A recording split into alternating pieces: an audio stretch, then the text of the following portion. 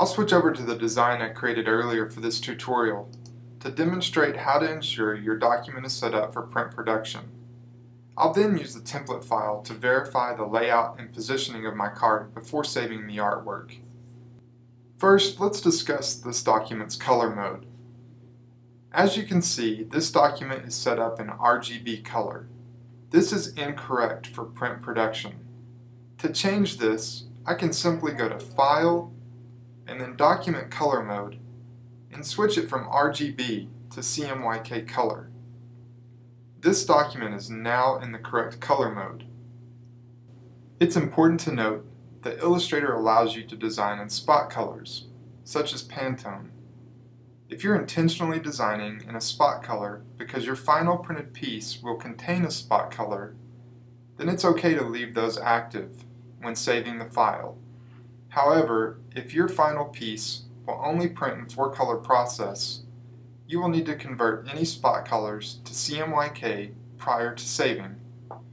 As an example, the word stellar lighting is in Pantone 877. To convert this, I can do one of two things. In the color palette, I can click on the cyan, magenta, yellow, and black button to convert this spot color, or I can go to Edit, Edit Colors, and then convert to CMYK. If any of your images inside your document are in RGB color, you will need to convert those to CMYK prior to saving your file. To do this, simply click on an image, go to Edit, Edit Colors, and then convert to CMYK. Let's talk about document size. It's important that your document is set up to the trim size of the final piece. For this business card, the final size will be 3.5 wide by 2 tall. I can verify this document size in Illustrator CS4 by clicking on the Artboard tool, or in previous versions of Illustrator by going to File and then Document Setup.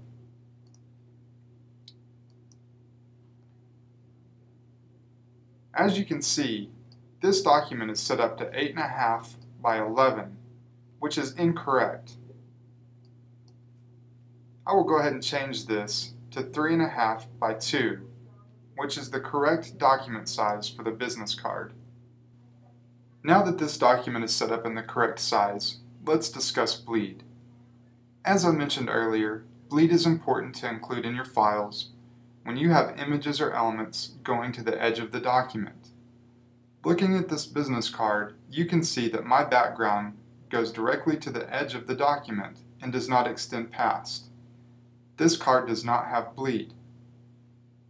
When I created the file for this tutorial, I made the background large enough so that I could add bleed by making the background 1 8 of an inch bigger on each edge.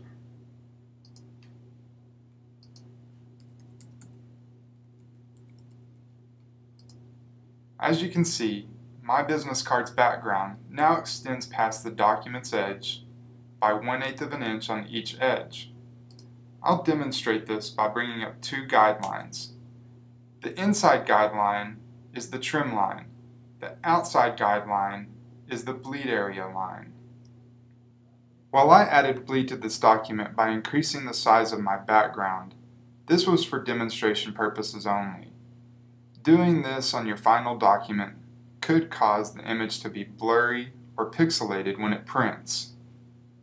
It's recommended that any image or element which will bleed be set up to the proper size and resolution prior to importing them into Illustrator. This ensures they will print in the highest quality possible.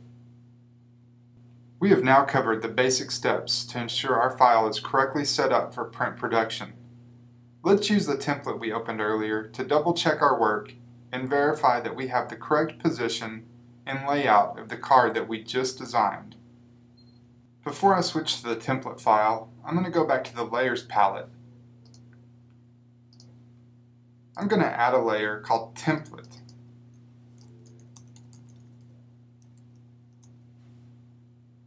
This is where I'll place the template information we'll be bringing into this document to verify everything is correct.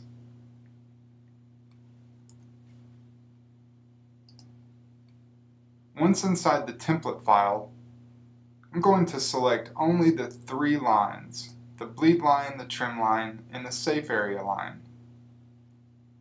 And then I'll copy those.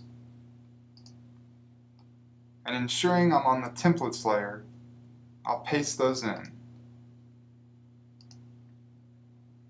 With the three lines selected, I'll simply center them into my document.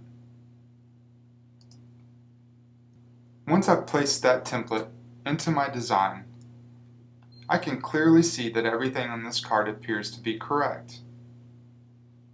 First, all of my text falls within the safe area. This ensures none of it will be trimmed off. My bleed goes to the edge of the bleed area, past the document area by an eighth of an inch on each edge. Everything on this file appears to be ready to go. Before I do anything else, as I mentioned earlier, it's important to remove any of the templates or information layers before saving your file. I can do this by clicking the eyeball and turning the layer off, or I could delete this layer. Now that we have verified that this card is correctly set up, deleted the templates layer, and also removed any information on the card which shouldn't be on the final printed piece, we are ready to save it. To save this file, go to File, and then Save As. From here, let's name our card. I'll name this one Stellar BC-CCP-Final. I'm going to save it to the desktop if you have a folder or another place where you prefer to save your files, simply find it and save it there. Once you've done that, from the Format drop-down box, we want to select the Adobe PDF setting. Once you've selected the Adobe PDF format, click on Save. Once you've clicked on Save, a dialog box will open giving you different options for the settings of the PDF you're saving. From the Adobe PDF Preset drop-down box, if you've installed the Copycraft PDF presets, you can select the CCP option. You can look at all the different settings for Copycraft's PDF presets. However, there's no need to change any of these settings. Once you've selected the CCP option, click on Save PDF.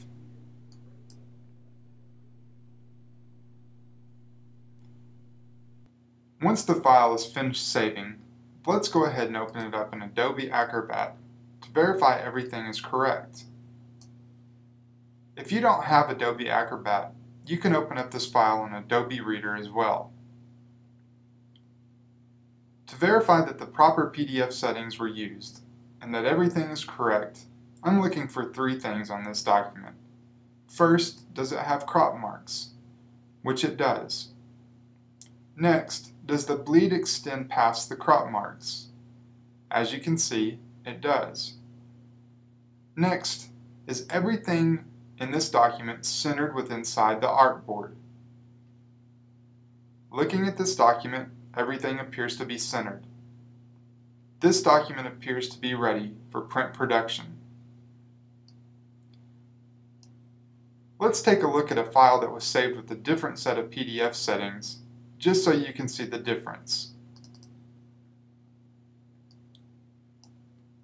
As you can see, this document contains no crop marks. Also, if we look at the size of this document, you'll notice that it's 3.5 by 2, and it has no bleed. This document is incorrect and is not set up properly for print production. Hopefully this video tutorial has helped you understand how to set up a file in Adobe Illustrator for print production, how to use a template, and how to save a file using Copycraft's PDF presets. For a print-ready checklist, our file setup guidelines, information on sending files, or other video tutorials, please visit our support center at copycraft.com.